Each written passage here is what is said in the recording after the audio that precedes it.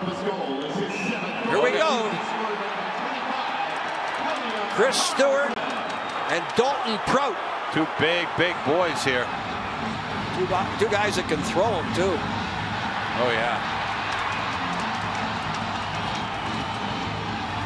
Stewart's kind of got him locked up waiting, but Dalton Prout being very active here. Body shots, lefts and rights.